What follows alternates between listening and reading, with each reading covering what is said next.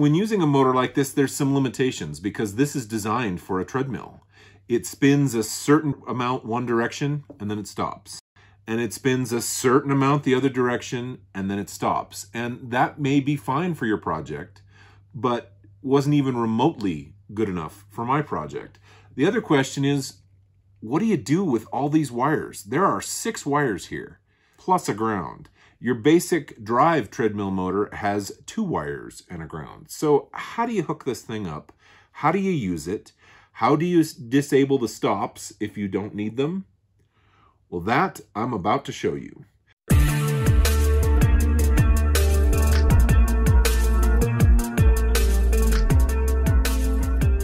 Greetings, fellow DIYer, and welcome to my video. So let's start with the obvious. Hooking up one of these motors requires working with electricity, AC electricity specifically. And if you don't know what you're doing and you hook something up incorrectly, or you touch something that you shouldn't touch when the power is on, AC can kill you. Use this information at your own risk. For those of you that follow my channel, you know that I've kind of found a niche in working with treadmill motors. Uh, I made some of my first videos about using treadmill motors on shop tools, and we're talking the drive motors. And one of the questions that I've gotten from a lot of people is, what, if anything, can I do with the incline motor? Here's a couple of incline motors out of uh, a couple of different treadmills. This one used to have a shaft like this. I cut it off and machined it for a project I'm working on. These motors are fantastic because there's a gear reduction in here that makes them very high torque. And that allows you to drive things that the motor by itself would not be able to drive. The gearing in it basically turns RPM into torque. So let's say this motor spins at 500 RPMs. The gearing inside uh, may drop it down to say 50 RPMs. And in doing so, you've gained 10 times the torque. Now let's look at the specs on this motor. There's a couple of really important things. First of all, 115 volts, so your basic uh, power that comes out of an outlet. Duty, this is extremely important. One minute on, then it has to be off for five minutes. If you don't follow those rules, you'll end up burning up the motor. This is what makes this motor quite usable. It says right here, thrust is a thousand pounds. Now, I don't know if that's foot pounds, if that's inch pounds, or if that's the lifting capability when you figure in the lead screw on this motor, but either way, that is a lot of power. So as I said, we got six wires and the ground, three here, there's actually three here, the end was cut off. And let's see if we can open this up and figure out how to make this work.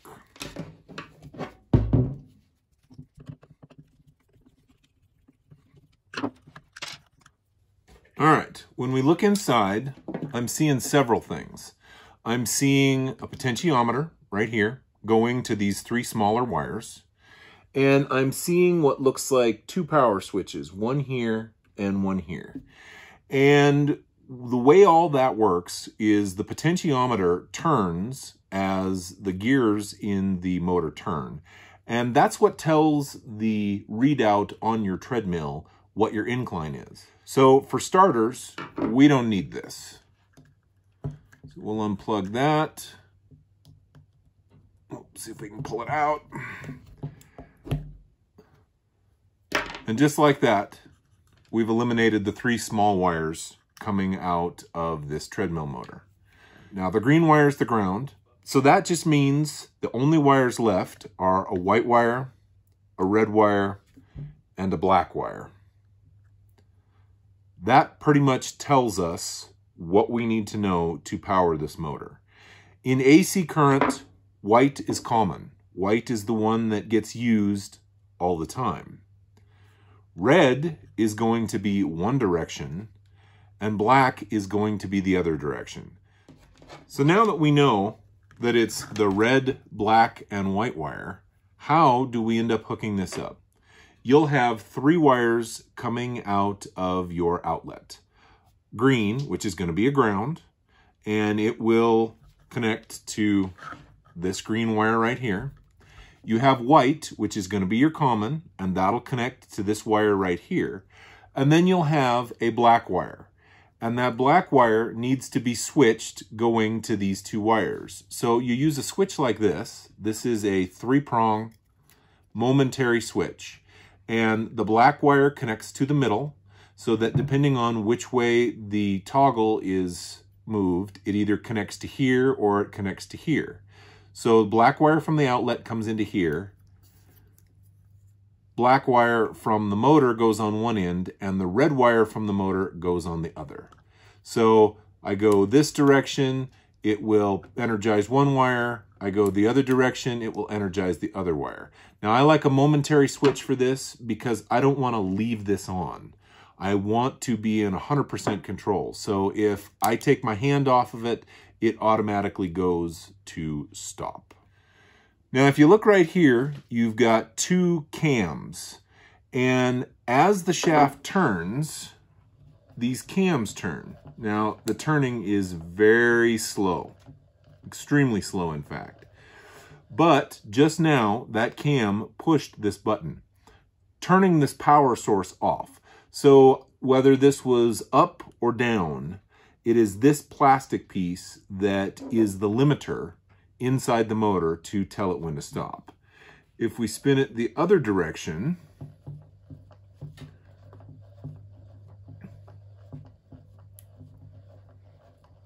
button comes back on, and the yellow one is moving around, and it is going to turn off and on this lower switch.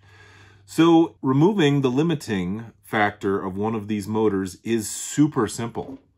All you have to do is remove these switches and connect these wires directly. So if I unplug this, let me see if I can get this one unplugged. We have two red wires. If we now connect those two red wires together, there is no longer a limiter.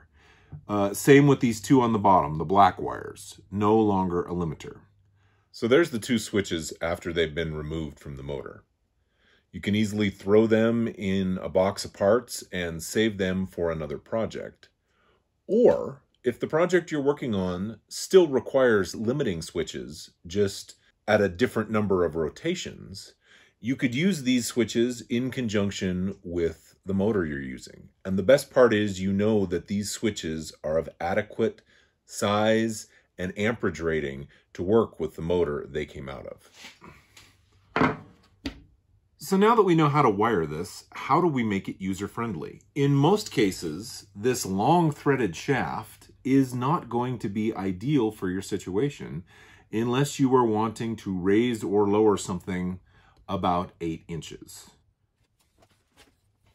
Now, like I said before, I machined this shaft so that I could put a 5 8 coupler on it to couple it to a different shaft that I'll be driving. And that begs the question, how did I get it out to machine it? When I'm doing a project like this, I like to lay the pieces out in the order that they came out so that I don't accidentally put things together incorrectly after the fact.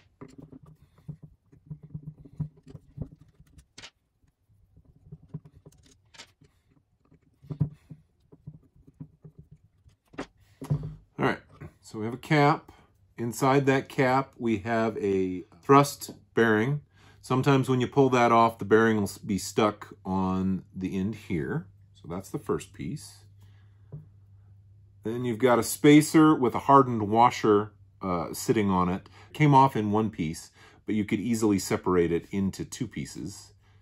It's important that this washer goes up against the bearing because it's hardened steel where the spacer is going to be soft steel.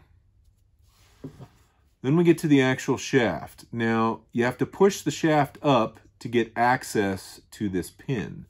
But once you do that, you can remove the pin, and then the shaft simply comes out. And now you have the ability to machine this shaft, modify this shaft, do what you need to do to make it work for your application. Then to put it all back together, it all goes in reverse. Put the shaft in. You pin it.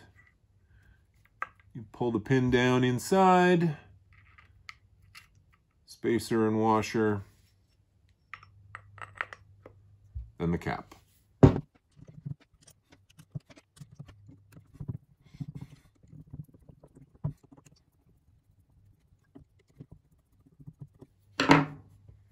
That's it. That's all there is to it. These motors are very simple to modify for your application.